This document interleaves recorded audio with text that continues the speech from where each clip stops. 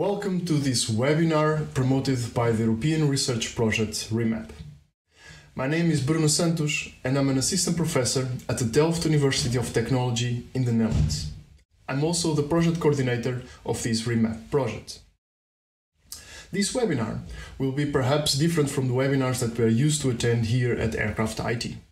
We're going to talk about this research project that aims to pave the way towards the implementation of condition-based maintenance or CBM in aviation. We are going in particular to discuss the IT platform solution that we developed and we are uh, deploying at KLM facilities, one of our partners, um, to run a demonstration exercise that will illustrate our vision and our concept on the way to implement condition-based maintenance for aviation. And this is the outline for our webinar. I'll continue by giving a brief uh, presentation of the remap vision and concept, and I, then I'll ask my colleague Floris Freeman from KLM to share with us the airline perspective for implementing condition-based maintenance in commercial aviation. This will be followed by a, a demo of the Remap IT platform given by the colleagues from Atos uh, Spain. And then the two uh, following blocks will be uh, to discuss the service or the algorithms that we are deploying in this IT uh, platform. First, my colleague Anarta Ghosh from UTRC uh, uh, Ireland is going to explain the REMAP uh, prognostics and health monitoring approach, while I'll come back to share with you the, the maintenance decision support tool that we are deploying in the IT platform. I will conclude this presentation by uh, explaining to you the next steps. And in this block I will also briefly uh, share with you what we are doing in terms of structural health monitoring and a data bank that we are uh, providing open for uh, development of SHM solutions. At the end we'll have time for questions uh, from your side. So please save your comments uh, and questions to the chat and we'll do our best at the end of this webinar to answer all your questions. So let's move on by discussing the REMAP project and the vision behind. The REMAP project stands for Real-Time Condition-Based Maintenance to Adaptive Aircraft Maintenance Planning. It is a four years uh, research and innovation action financed by the European Commission, has 13 partners involved and a budget of 6.8 million euros, and the coordination is done by us at the Delft University of Technology. We are currently in the last year of the project. The main goal of the REMAP project is to develop an integrated fleet management solution that aims at replacing fixed interval inspections with adaptive condition-based interventions. And to achieve this goal, we have four main technology development blocks within our REMAP project. The first one is the Open IT ecosystem, which relies on the IT platform that we're going to demonstrate within a few minutes. The idea behind is that the IT platform should facilitate the collaboration between multiple stakeholders and provide service to these stakeholders or algorithms to these stakeholders, which are reliable for the implementation of condition-based maintenance. And this can only be achieved if these stakeholders share information or data in a reliable and secure way without having to share the data among themselves. We're going to discuss this uh, later. Within the IT platform, we are deploying solutions, algorithms that can help us to predict the health condition of systems. So we are using their data-driven algorithms mainly for prognostics and health monitoring of systems. And in some cases, enhanced by physics-based uh, information or algorithms that can provide more reliable information. In a similar way, for structures, we are developed data-driven probabilistic algorithms to monitor the health conditions of the structural elements. And these are fed by sensing technologies that were developed or uh, designed within the uh, REMAP projects and then used in laboratory tests to feed in these probabilistic algorithms for structures.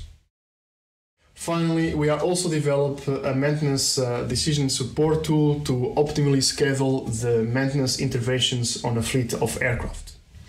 And to the combination of these four technological blocks, we call the integrated fleet health management solution that we propose to implement condition-based maintenance in practice. And within this project, we are also performing a safety risk assessment of some of these technologies to understand what are the implications of adopting our concept in practice. Our vision is that uh, maintenance uh, is a um, cyclical process. So, mainly for systems, we are collecting information from sensors on board of the aircraft. We acquire this data, we process this data, and then we run our diagnostics and prognostics algorithms in a, um, a, dynamic way which provides information for the maintenance planning so when to perform maintenance and which tasks have to be performed in each one of the maintenance interventions we execute maintenance and we collect new information uh, we assess these processes according to the risk assessment uh, um, evaluation that I mentioned. And in the demonstration that we're going to hear about in a few minutes, we are performing all these steps except the maintenance execution and risk assessment. And this demonstration will be a six months operation demonstration, which takes place, as I said, at KLM, one of our partners. And in parallel, we are doing something similar for structures, but in that case, in a laboratory setting, using a representative structure of composite subcomponents.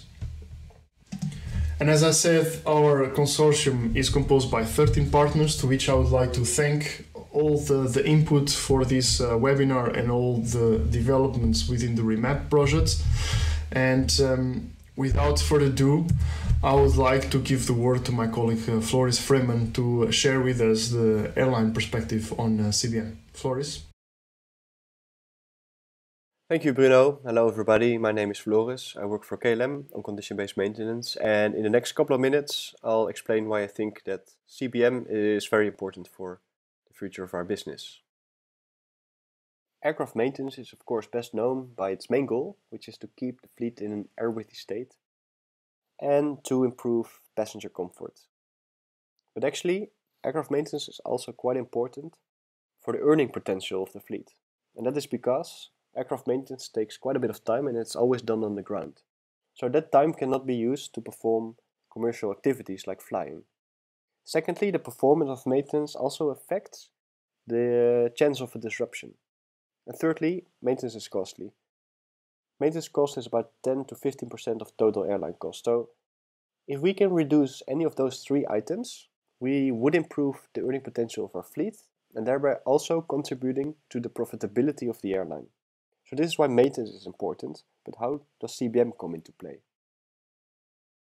Let us look at the nature of the tasks that we perform today on our aircraft. What we see is that the majority of those tasks, 80%, are not triggered on the condition of the aircraft, but instead of the age. Instead on the age of the aircraft, expressed in flight cycles or flight hours. And from those tasks, about half is just an inspection that doesn't really lead to a alteration of the state of the aircraft. So by knowing the condition of the aircraft and all its components up front, we could tailor our maintenance and only execute the maintenance that is needed given the health of the aircraft. And that would save us ground time and cost. But we're not really only after those tests that are triggered on age. We are also after those tests that are already triggered on condition, that 20%.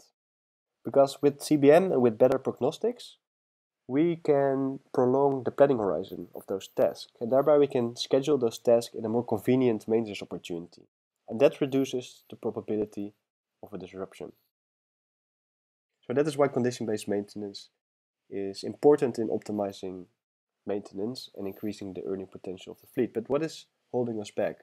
Well, there are a couple of regulatory, uh, operational, commercial challenges, but I'm going to mention a couple of technical ones that we address in the in the project. First of all, the one first the first one has to do with data. So, like any airline, we produce massive amounts of data with our flights. But given the sensitive and commercial valuable nature of that data, it's pretty difficult for us to publish that data to the outside world, unfortunately. And secondly, there are also many algorithms already available on prognostic and scheduling optimization, but for us to, to try them one by one is very time consuming because they're all quite different from each other. A third but not least, fortunately failures and faults are very uncommon in, in this domain. So to train an algorithm on a data-driven approach, well, we'd need to combine lots of data from multiple airlines to get enough failures.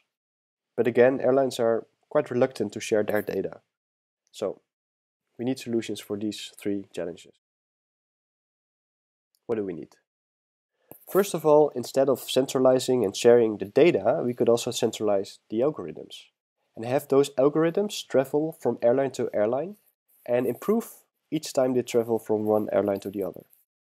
This is called federated learning, federated analytics. The second one is an easy to implement and also more importantly a secure way to quickly try prognostic and scheduling models and algorithms. Much like the App Store on your cell phone. You'd like to just download a model, try it out, and if you don't like it, you remove it. If you like it, you keep it. And thirdly, to, to get there, we need to speak the same language. So we need a data model that is generic amongst airlines and is also available to developers of prognostic models. Good. So I've tried to explain why maintenance is important for the earning potential of the fleet and what role CBM can play in achieving a higher earning potential. I also mentioned a couple of potential solutions. So now let's look at how our remap partner Atos has implemented those solutions in the IT platform. Good morning. My name is Miguel Ángel Esbrí. I work for Atos Spain, and I will be presenting shortly the uh, concept behind the Remap IT platform that we have developed in the context of a Remap project.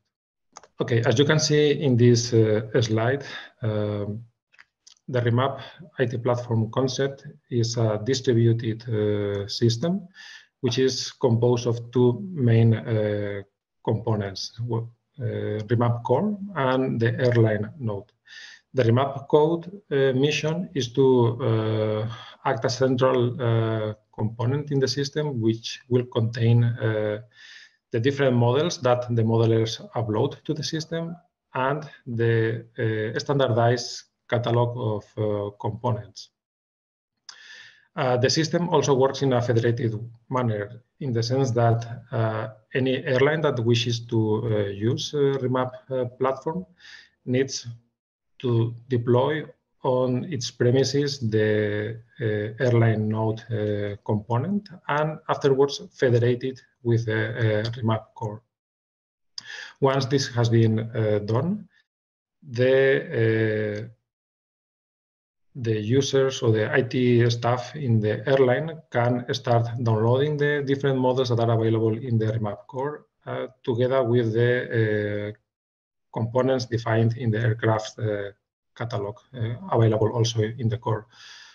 Uh, also, uh, the airline node allows to store the aircraft's data after each flight and together with the models, they will be uh, processed and analyzed.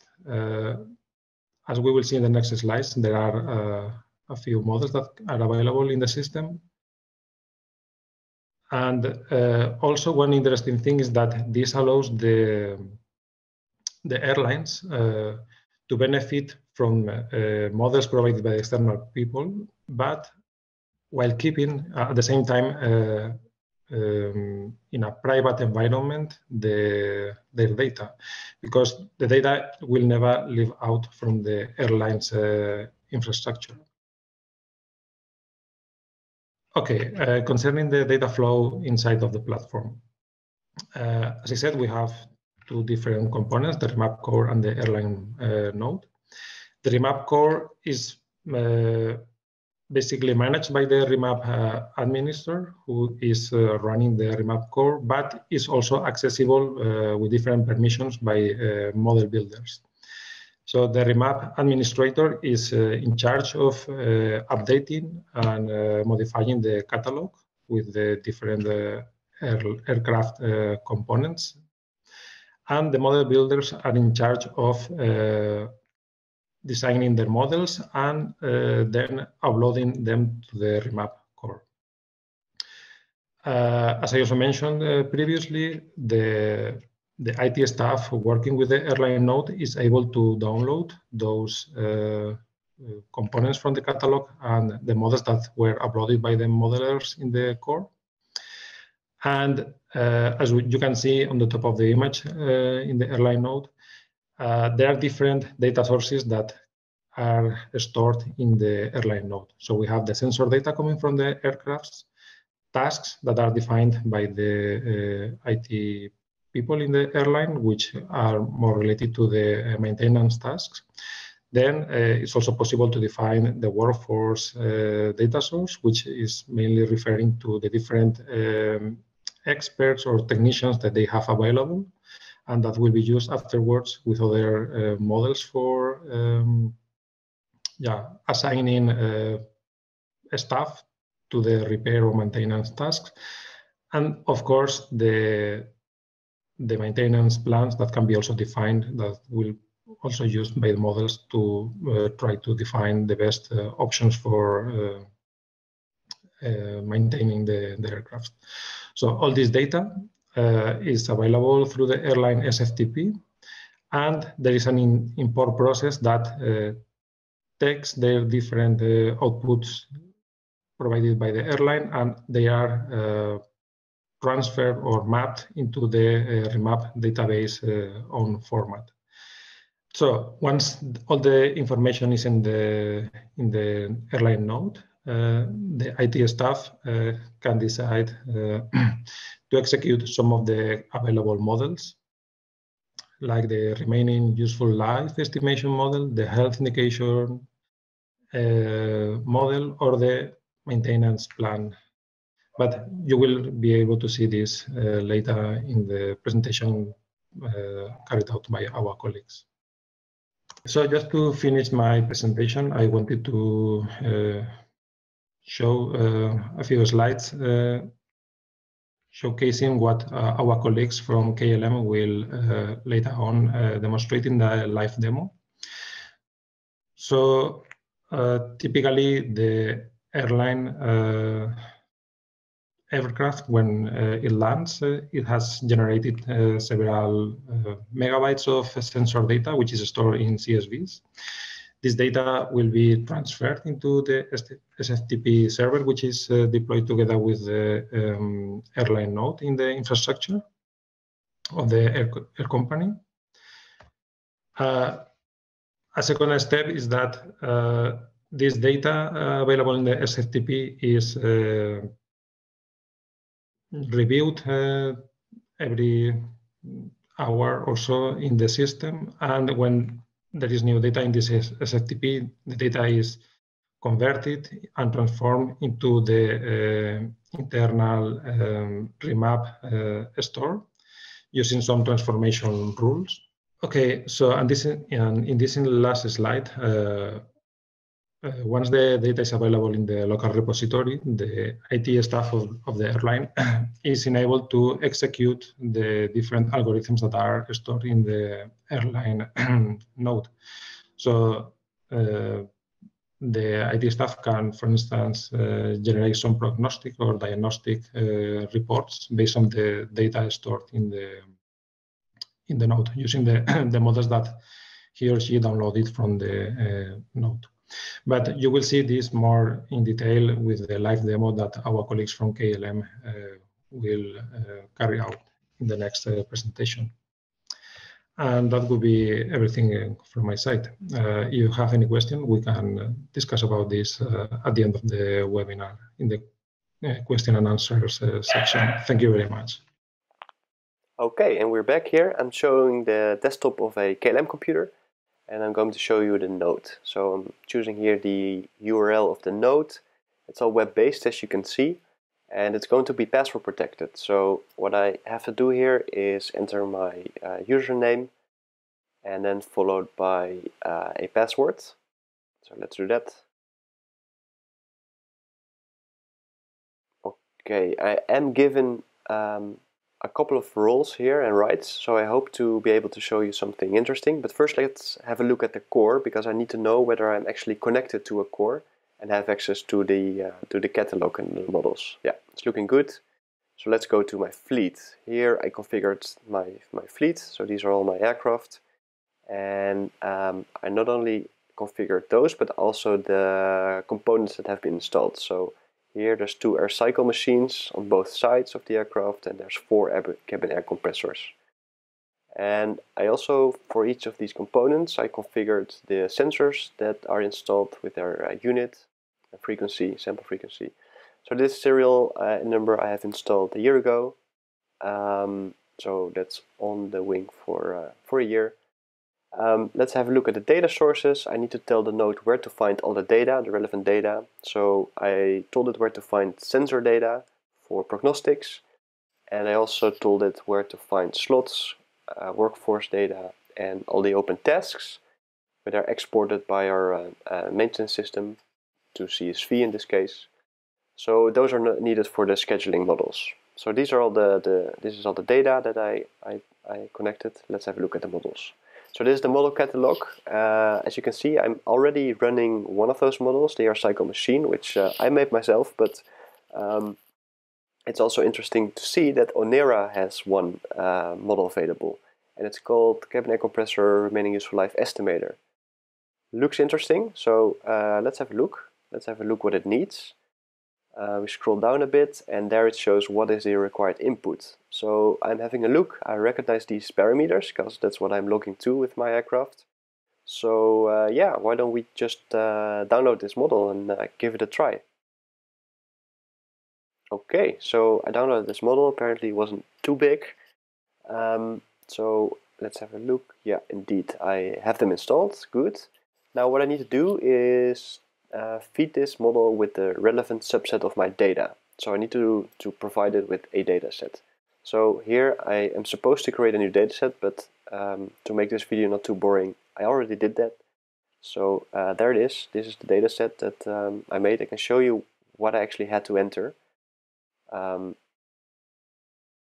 okay, yeah. So um, the required parameters, uh, I, I had to link them to the sensor data uh, that my aircraft is logging.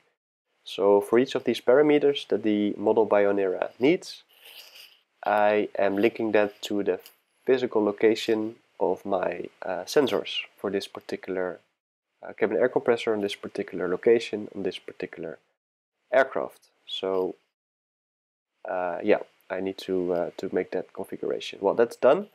Now uh, let's uh, have it run. There's a couple of options that we can do here. We can uh, just execute it once, but it is maybe even nicer to execute it periodically.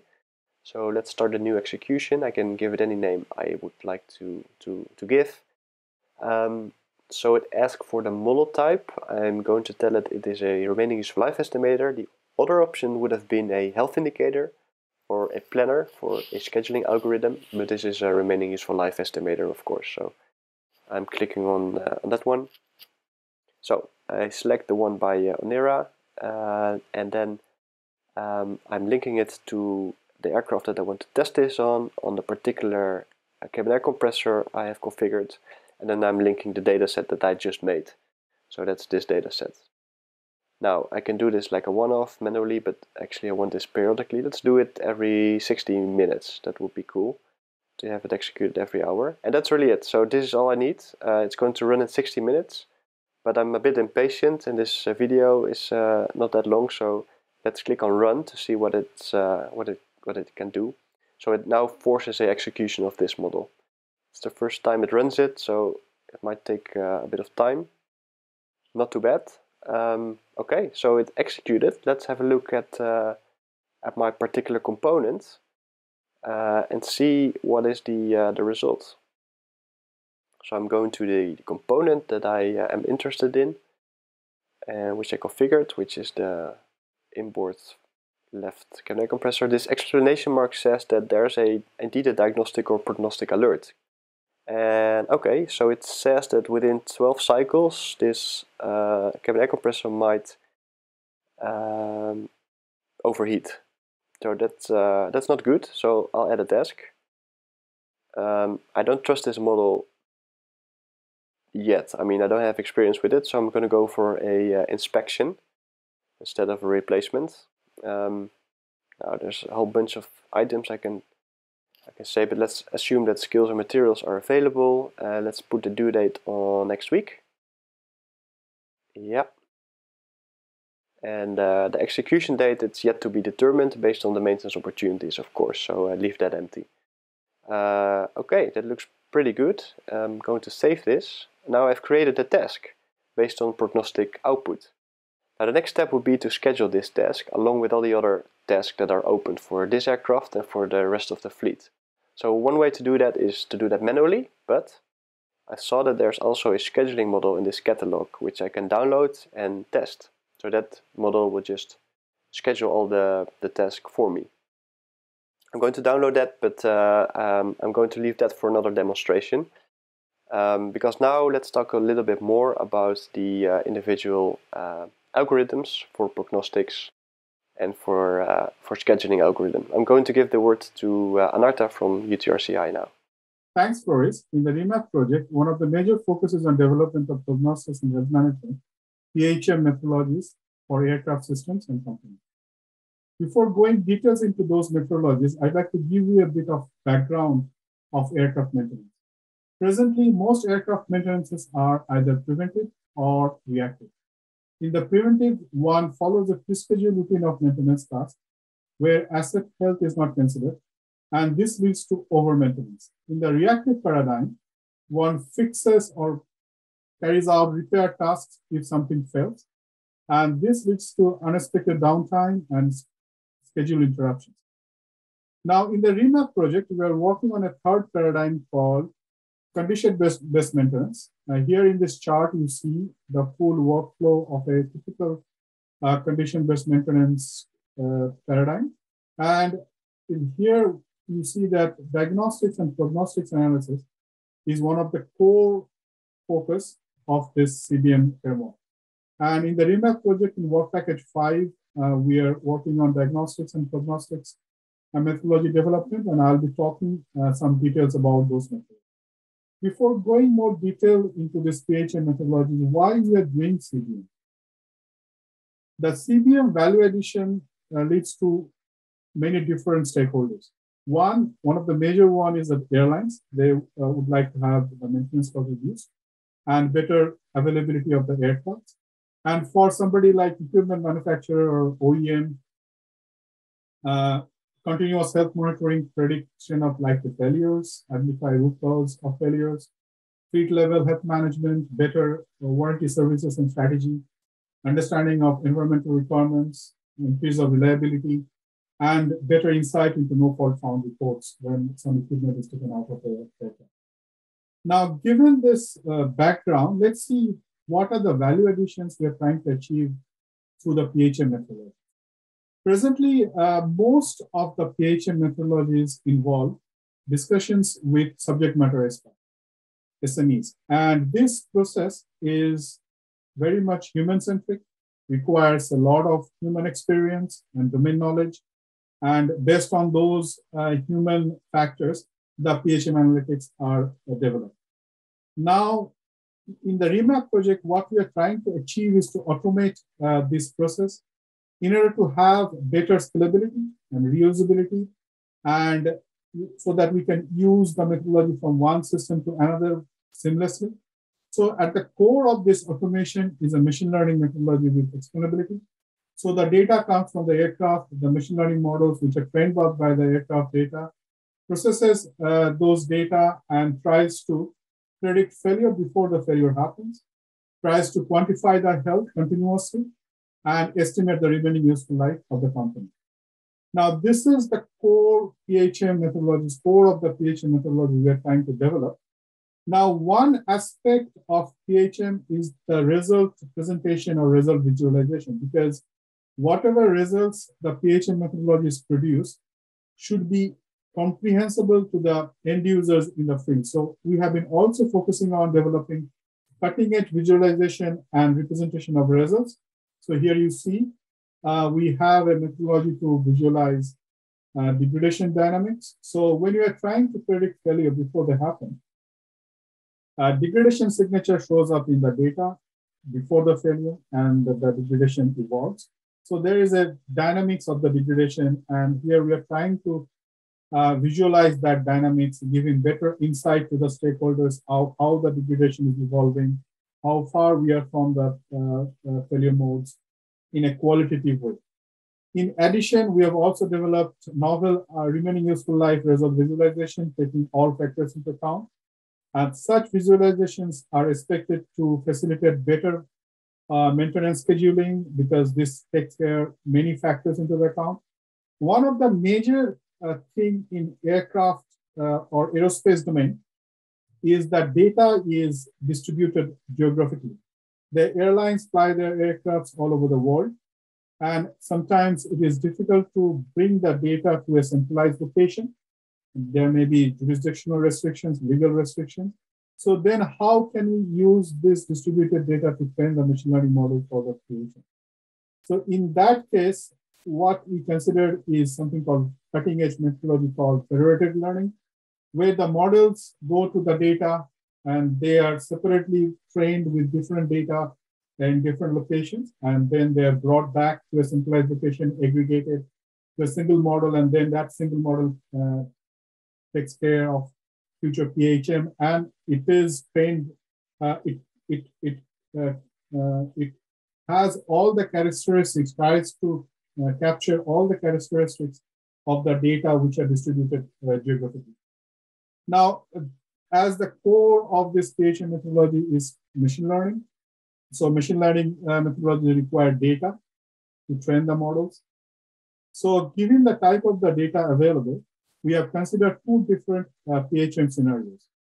First, the PHM scenario one, when a lot of run to failure data available, confirmed run to failure. What is run to failure data? Run to failure data is the time series data taken from a, a equipment under consideration, where the first part of the data is healthy when the equipment is operating without any degradation. Then slowly degradation shows up and leads to uh, the end, the failure. Uh, in this uh, scenario, the core is uh, called uh, TrajectNets methodology, uh, which is based on deep learning paradigm. It is basically an RNN-based autoencoder, and it is trained using uh, ground truth run to failure data, and it embeds a time slice uh, of uh, the time series data, which is coming from the aircraft in a low dimensional space, uh, and tries to predict failure, estimate health, and estimate remaining useful life. Now, if we deploy such a framework in the field, how will it look? So here I show you uh, how this thing will look uh, in the field. So data is coming from the aircraft where you see uh, is the time series and each time slice in the data is embedded using the trajectory methodology in a two-dimensional space, which is constructed through the training process. You can see three clusters, healthy clusters, failure mode one and failure mode two. And you see each slice is embedded as a yellow dot. And at the beginning, as there is no degradation, the dots are embedded near the healthy region. And as the degradation evolves and shows up in the data, the healthy dots start moving towards one of the failure. Uh, similar things happen in the health index also. In the beginning, when there is no degradation, it is flat and it goes down as the degradation shows up and goes down up to the bottom when something fails. So this is uh, how we envisage uh, this uh, new method, PHM methodology can be used in the field. Uh, we validated uh, this methodology with NASA benchmark NASA PHM dataset, uh, and we got very decent results. As you can see here, some of the numbers, and you can find more details about this methodology in our paper, which is published in International Journal of Prognostics and Health Management where more results are there, more explanation is there. Now, this is a PHM scenario one where we need run to failure data to train the, train the models. Uh, there may be scenarios that such run to failure data is not available. In a real scenario, the aircraft is just started flying, there not, not been lot, there has not been a lot of failures. So we don't have much run to failure data. In those scenarios, we consider a different framework and call it PHM scenario two, where we train the core machine learning model with healthy data. So, and we also updated the TrajectNets framework to a new uh, deep learning based methodology. We call it PHMNet. It also embeds the time slice in the time series data, which is coming from the uh, equipments under consideration.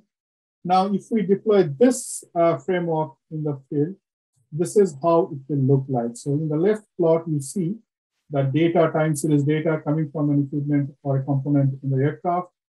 Uh, it is evolving and the PHMNet embeds this into a two-dimensional space where there are small uh, uh, green dots represent the healthy. And when something fails, the embeddings move away from the healthy region. And also we see the similar characteristics in the distance from the healthy of this new uh, of the dots here. Uh, and also the health curve uh, shows a similar deviation from the nominal operation. Now, given this deviation uh, from the nominal operation measures, uh, we can predict that something is going to fail. Now, in the field, uh, there may be requirement for more insight into what is going on, why these machine learning models are predicting failure, because these are black box models. And to carry out a maintenance task, we might require more insight what is going on. So we also developed explainability and root cause analysis methodologies to understand why these machine learning methodologies are predicting failure, what is going on in the system, whether we can isolate a part of the system which is developing uh, the degradation, and then the maintenance task can focus on that part of the system. So as you can see, if we look at the, all the data, we don't know what is going on. Where is the degradation? This is blob of is a blob of dots and numbers.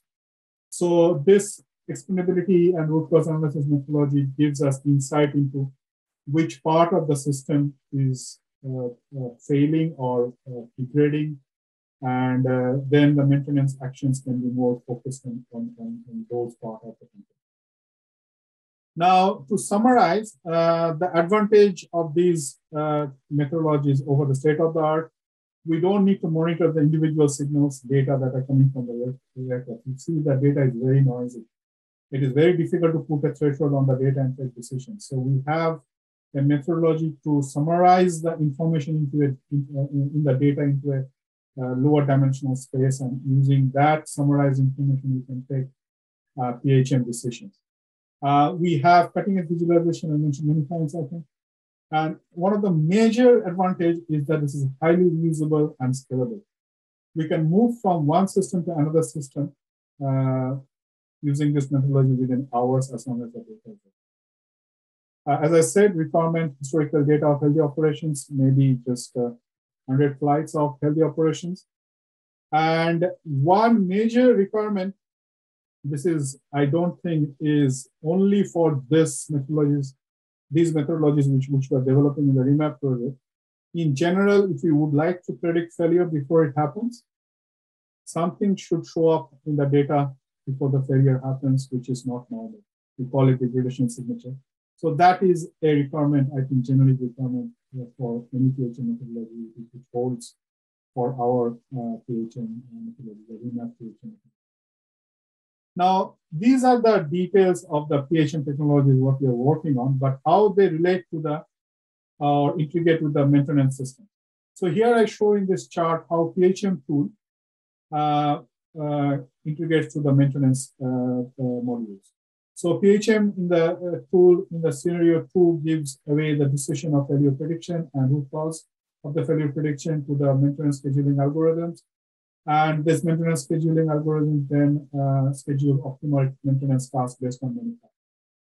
And in PHM scenario one, uh, the PHM toolchain gives uh, out the remaining useful life, the health index, the failure probability, and the maintenance scheduling then use those numbers to uh, schedule optimal maintenance tasks, considering different factors like inventory status, resource uh, availability, so on and so forth. Now, in the REMAP project, we are also developing cutting edge novel uh, maintenance scheduling algorithms, uh, and that is done in work package six of the REMAP project. And uh, Bruno will talk about that. Over to you, Bruno. Thank you. Thanks, Anarta. I'm going to explain to you now what is the maintenance planning decision support tool that we have developed and what are the algorithms that we have developed in this REMAP project. We have developed two types of algorithms one for the long term uh, planning of maintenance checks for a fleet of aircraft, and uh, the other is for the short term, the next weeks, to uh, allocate or reschedule open uh, maintenance tasks into a set of maintenance opportunities for each aircraft. The second one is the one that is part of the decision support tool and it is being implemented in the IT platform. But before I get into that, let me discuss with you why do we need such type of decision support tools. Well, the first reason is that it brings consistency. So having such a type of decision support tool allows the maintenance planner to schedule the maintenance uh, checks and allocate uh, maintenance tasks in a consistent manner. The, the second reason is that we are using optimization algorithms. So we are optimizing our maintenance uh, schedules. And according to our uh, preliminary results, still not considering predictive maintenance tasks, we can reduce the number of maintenance checks for uh, by about 8 to 10% in the long term. This is a significant amount. We can also reduce the ground time needed to perform maintenance tasks by about 90% according to our calculations, which is equivalent to almost having one extra day per year per aircraft in our fleet. So the optimization uh, can be of high relevance for the uh, maintenance uh, planning. But the need for such decision support tool is more imperative in the case that we are dealing with condition-based maintenance. Why is that? If we have a maintenance planner that is dealing with prognostics and health monitoring information coming from one aircraft, eventually for multiple systems, this maintenance planner has to deal with this information, which is uh, probabilistic because it usually uh, deals with uh, estimations of the health uh, uh, condition of the aircraft or the remaining useful life, and has to deal with this information to produce a maintenance schedule. And this becomes even harder when this maintenance planner has to consider not only one aircraft, but a fleet of aircraft with multiple components.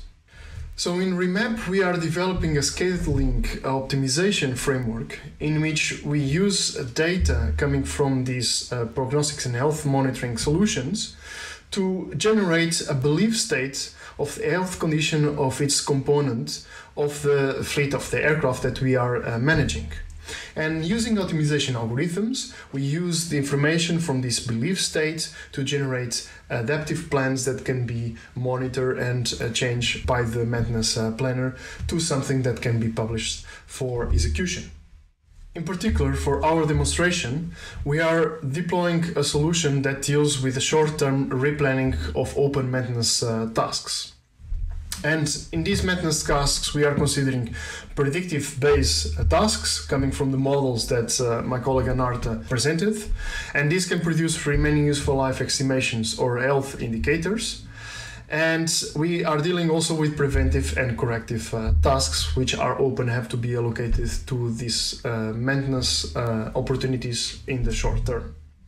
We have information about these maintenance opportunities or maintenance slots in, in the future. We consider two types of maintenance slots. Uh, some are fixed uh, and already allocated to a specific uh, tail number, to a specific aircraft. Others can be flexible and we can reallocate an aircraft uh, whenever it is needed. We have also information about costs costs uh, of performing maintenance in a corrective manner, but also in a, a predictive uh, way. And we put all this information regarding the outcomes of the predictive models, maintenance slots, and costs into a prognostic task generator. And this algorithm will create this belief state that I was mentioning to uh, recommend the best dates and costs associated with these dates for each one of the prognostic tasks that we have to consider. The prognostic based tasks and preventive and corrective tasks go all together in a pool of open tasks or tasks that we have to, to schedule. And this will be considered by the optimization algorithm together with the current schedule, so the previous schedule computed, the available maintenance uh, slots, the resources available, and eventually any limitations coming from the flight schedule. It is important to notice that we are also considering that there will be disruptions, new information coming, that could be, for instance, for new faults uh, found in, on an aircraft, and we have to uh, schedule the new tasks based on this new information, or there could be also impact on the resources available that we have to uh, use to perform our maintenance. This information, as I said, goes into the optimization algorithms. We are considering two types of algorithms to test and compare. Uh, one, reinforcement learning, is based on a data driven, so it's a machine learning algorithm that learns how to schedule uh, maintenance. And the other is a more traditional linear programming, which uh, consistently uh, produce uh, a maintenance schedule based on a set of constraints and uh, objectives. This, as I said, produces a, a, new schedule, and this new schedule is considered as the current schedule for the next uh, time that we have to run our algorithms. In the demonstration uh, case, we are running these algorithms every hour and comparing it with what is the solution being considered by KLM. To make it possible to read the maintenance schedules being produced here and to understand what are the outputs from the predictive models, we are also developing a graphic user interface.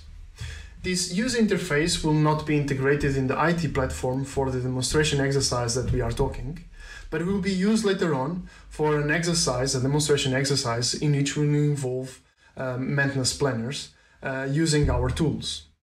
With this user interface, the planner will be able to run automatic planning algorithms to obtain a base plan and then be able to analyze it and adjust it according to his or her experience before publishing the schedule. The image here shows uh, a fleet of aircraft, four aircraft, and what we're seeing here in green is the location of a given tail number to uh, inline maintenance, and in orange to hangar uh, maintenance. We also see in blue uh, the flights which are scheduled or allocated uh, to a specific tail number to have that in consideration when planning our uh, maintenance interventions. If we expand information regarding a given tail number, we can have information about the tasks allocated to a given maintenance uh, slot. We can see in the case of this orange block that there are six um, corrective or preventive tasks associated with a given due date, which is indicated by these triangles. We also have information about prognostic tasks, represented by a curve that allows the planner to visualize the best opportunity to carry out this maintenance. This curve is based on the health indicators of the components that are associated with the task. At the bottom, it's also possible to analyze the workforce available and allocated to a specific hangar at any time of the day. And this will allow the planner to see if, in some cases, there is some shortage of work uh, uh, force to perform the maintenance being allocated to that slot. In a nutshell, this was the maintenance planning decision support tool that we are developing in, in Remap. Before I move to conclusions, I would like to share with you what we are doing also in parallel regarding structural health monitoring. So partners are developing this hierarchical building block approach to generate data that can then be used to develop and test diagnostic and prognostics algorithm for uh, structural health monitoring. This hierarchical approach started with uh, using a set of uh, multiple sensing technologies like piezoelectric uh, sensors, fiber optics, and acoustic sensors, which were designed and adapted to detect, locate, and measure structural damage. And we started with the tensile test coupons, and we are currently testing flat multi-stiffener panels uh, representative of wing box elements. And they are being tested mainly to fatigue, uh, at impacted and artificial disbonded test articles. An important information that I would like to share with you is that the data being generated by this unprecedented uh, test campaign involving so many sensing technologies and different levels of uh, um, uh, panels will be made open. Actually, the level one uh, results are already open for you to access and use it in the development of structural health monitoring solutions. The link is below. You can also find this link and information on our website. Let's conclude by looking to the next steps. The demonstration exercise that we have presented in this webinar just started this week and will run until April next year.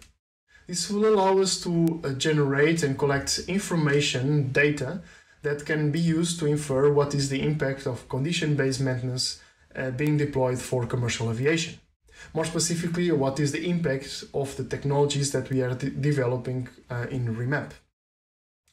In April or May next year, we should be back in a new webinar to discuss with you the, the results of this demonstration exercise, but also the results from the structural health monitoring testing campaign and from the safety risk assessment. Later on, we'll be hosting here in Delft the first international conference for condition-based maintenance in aerospace. You can register and participate in this conference. But on the 23rd of May, the day before the conference starts, we'll have the Remap Day. This is a free uh, event. You can participate uh, uh, if you want. And we'll share the results from Remap and uh, from this demonstration exercise and discuss a white paper towards the Uh, implementation of condition-based maintenance in aviation. In the meantime, don't forget to follow us on our website and social media to know more about the project and to follow the demonstration exercise. Today, please provide comments and ask questions on the chat. I'll see you there and thank you very much for attending our webinar. Bye bye. Okay, so thank you very much for attending the, the webinar. We're going now to use um, uh, our time to answer um, some of your questions. We got many questions, so uh, perhaps we'll not have time to answer them all, but we try to answer uh, most of the questions, and then the ones that we cannot address here we'll follow up uh, in the coming days uh, by contacting you.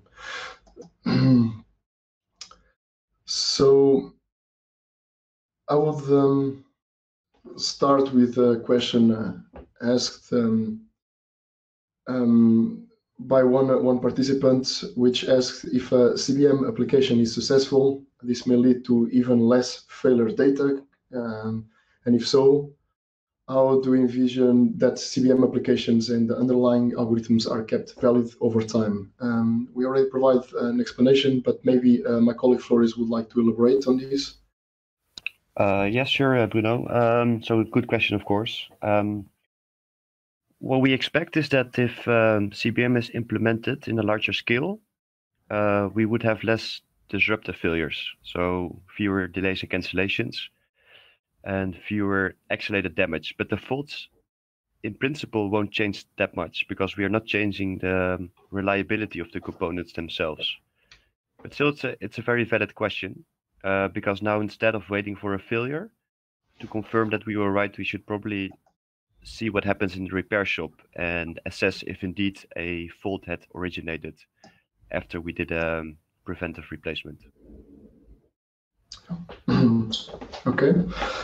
We have also um, another, let's say, somehow related question, uh, which is about um, um, asking if the project rely on cost, uh, customized installation of sensors on the aircraft components components or does it rely on existing sensor data source available from the aircraft systems and data servers?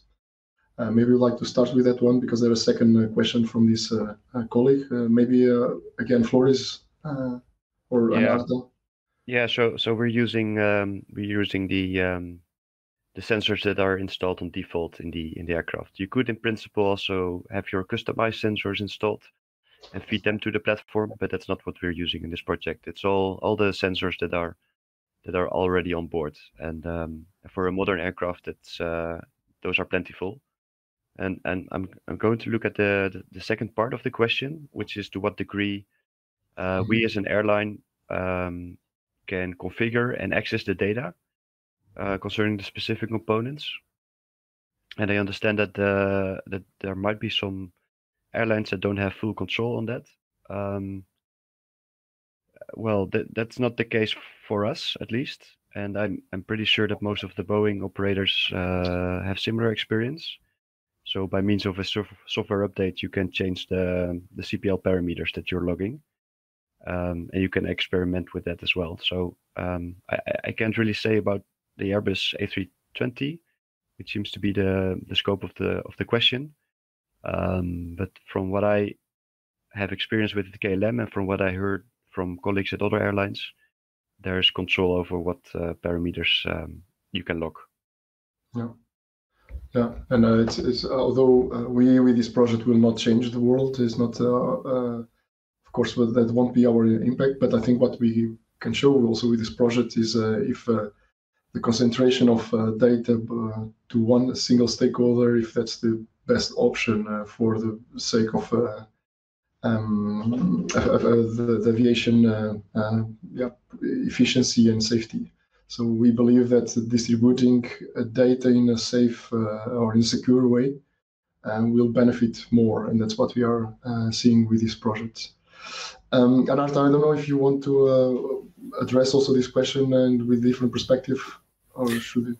Yes. Yeah. So uh, for distributed nature of the data, as I mentioned, uh, we are also looking into something called federated learning, uh, where the PHM algorithms or the models are sent to the data instead of data being fetched uh, into a centralized location.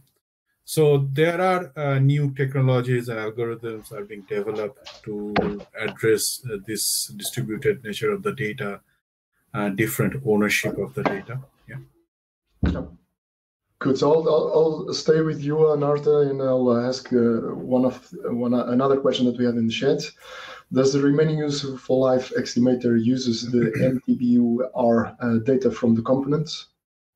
Uh, at this point, uh, we are only using the data collected from the aircraft.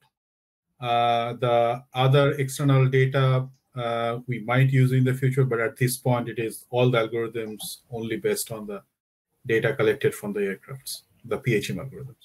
Mm-hmm. Well, I'm, I'm going to add on that, uh, yeah. because the, the installation date of the components are in the are configured in the platform. So if a model developer wants to use the yeah. age as well, then they could. And actually, from TU Delft, there is a model currently uh, that is running at KLM that is using that is doing just that. So that's also using age in addition okay. to the sensor data. Okay, a following question, uh, maybe for uh, Floris. Um, the, colleague says you are just showing that uh, you can execute a task out of the prognostic uh, node system. Where will this uh, be transferred to? In, in which format uh, to which system? Yeah, unfortunately, you know, in an ideal world, that will be pushed to our maintenance uh, system and, and show up as a regular task or or as a as, as some kind of an order or maintenance support order. But um, unfortunately, in the scope of this project, that's not there. So if you want to use this this task, you would at this point have to manually uh, copy it to the maintenance system to get it done. But um, that's uh, work for uh, that's that's future work. Yeah. Okay, and we have uh, many uh, other questions popping in. Um, let me move to another one. Um, so there's a colleague that questions, uh, you show uh, planning uh, with flights, workforce uh, available and tasks related to prognostics in remaining useful life. Or are you also taking into account other inputs such as um, uh, working um, um, work, uh, WOs working coming from maintenance program, working package, I presume, but working orders mechanic uh, mechanic specific skills, ground support equipment that will impact planning, and also uh, uh yeah, let's go with this one. Otherwise, it gets too long. Uh, Floris, do you you want to start with this one? Uh, yeah, um, if I understand the question correctly, then the question is whether we have task attributes like what is the requirement skills, what are requirement tools and material, etc. Yes.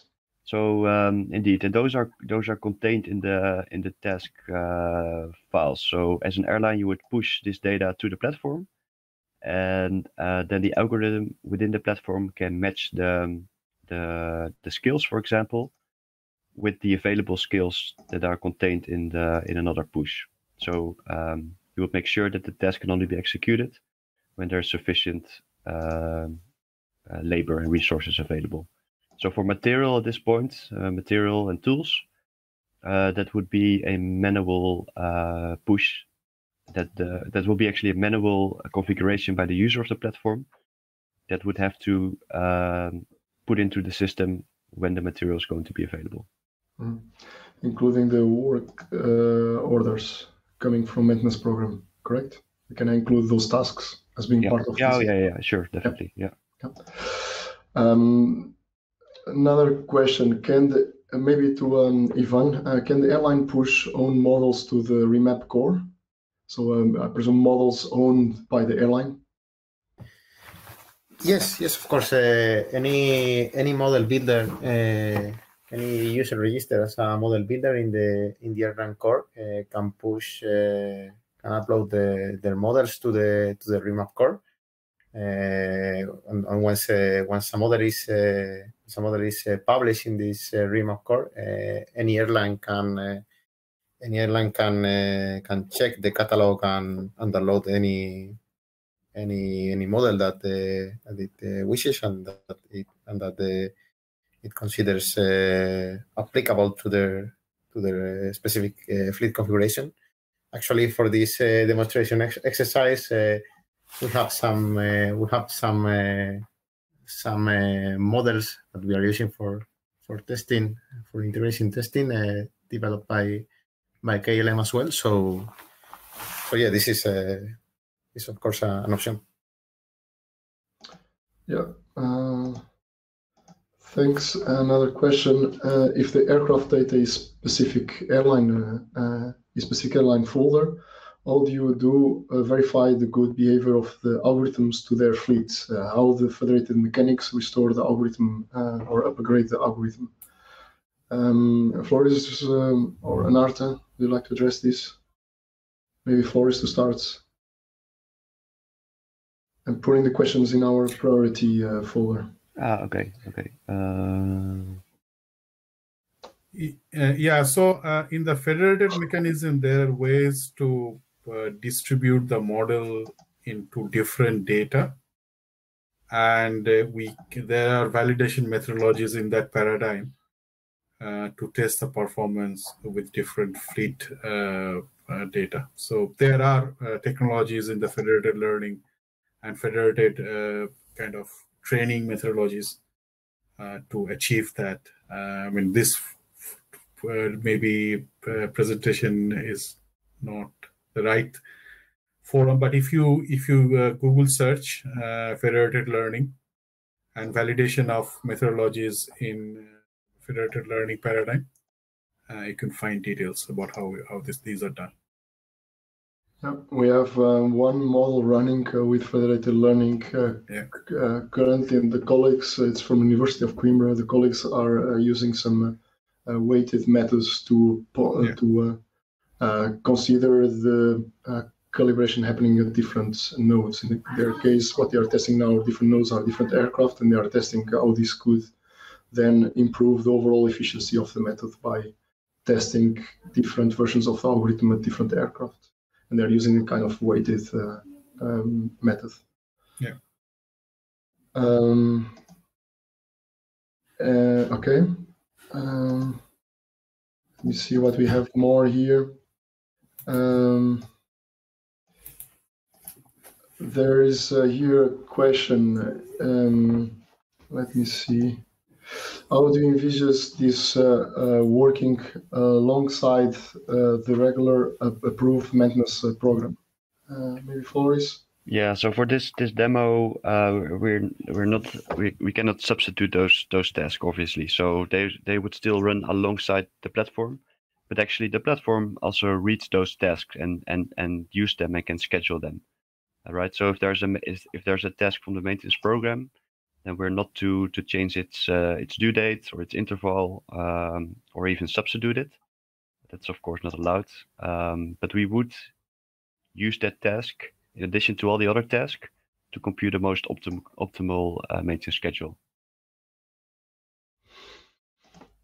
Okay. And, um, and of um, course, the, the all the prognostic tasks on, on these systems, we can do that uh, uh, ourselves. Of course, these are all yes. economic tasks that we can uh, execute at any time. Yeah. Another question is um, a colleague that says, well, that he uh, here he sees the, the project like Skywise from Airbus. Uh, he refers speci- specifically to the aim uh, to collect data and provide the recommendations. So I presume more the question is uh, how different uh, it is. Um, eventually the, the concept could be uh, the same and this comes from the, the reason that we explained in the, during the, the video that um, we need data from more than one operators to develop reliable prognostic algorithms. But the project goes beyond that um, uh, that structure, that element, that philosophy followed also by Skywise uh, in uh, in two aspects or three aspects actually. One which is a parallel one, which is that we are aiming at least considering how this could work also for structural health monitoring. Um, which is not necessarily something completely different from Skywise, but we are doing that. The second uh, thing is uh, that we have a completely open platform. So the idea is that uh, anyone could um, um, upload um, um, a solution, so a, an algorithm to the platform that can be used by any uh, partner that um, would like to implement uh, condition-based maintenance during in their maintenance operations. So it's completely open, uh, the, the, the platform for any stakeholder to benefit from it. And uh, the third um, uh, third difference at least to, to the best of my knowledge, is that we also have these uh, scaling components uh, at the end or uh, treating the information from prognostics to produce a fleet, overall a fleet maintenance plan. Um, um, there's also another question which I'll pick up. what what is the long-term roadmap for this project? Will this turn into a commercial viable software? That's a, good question. Um, so we are now in the phase of um, um, discussing the, business model after uh, Remap. It is, as I said, uh, an open platform, the one that we have shown here. So uh, if it will be a business model, will be in a format that will be an open platform to be used by uh, partners. Um, but we would like to uh, further extend the research that we are doing here to make it uh, a commercial uh, software, um, if not in the short term after remap, at least in, in the long term. And um, the roadmap of the, the, the, project is not only the technologies that we are developing, and some of them we presented here in this uh, webinar, but also to discuss are the implications, limitations, and opportunities uh, for implementing condition-based maintenance uh, in practice. And one of our final deliverables will be a discussion of a, a white paper on, um, on, on, on these opportunities and challenges for condition-based maintenance in the future. And um, um, let me see. So we do have another question here how do you collect the data for training the CBM models? How many models components are currently covered in the catalog? Um? Maybe Ivan or uh, Floris?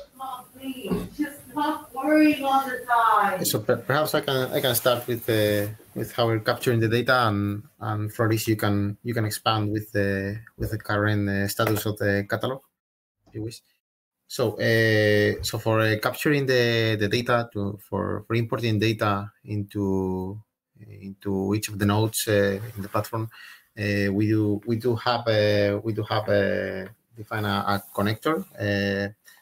Right now, for the for the demonstration phase, we have implemented a, an SFTP connector where the where the, the the node administrator can can configure the different folders, uh, the different folder structure uh, where they are uh, storing their their data, and and for each of these for each of these folders, they need to define the mapping of of this data into corresponding with the with the catalog of components. So the so the platform can adapt uh, airline uh, specific uh, sensor data into the standardized uh, remap uh, remap uh, data format.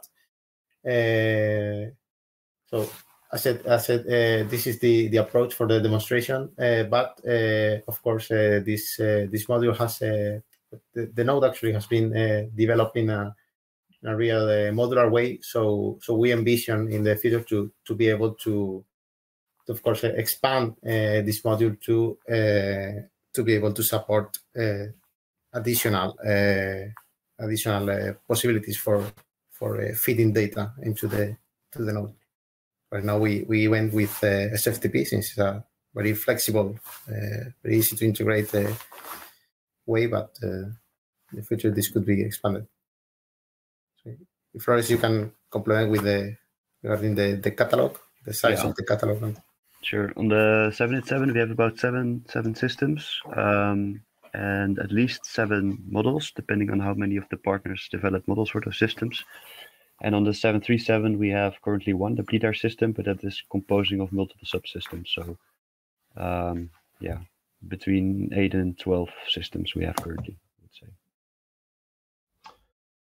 Okay, uh, thanks. Um, we'll have to close it here. We are already over uh, time. There are still questions to be answered in the chat, which I really appreciate the the input and the, the interest from everyone.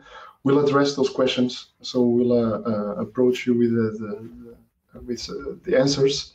Um, if you stay in the webinar, uh, maybe you can reply some of these uh, here in the chat.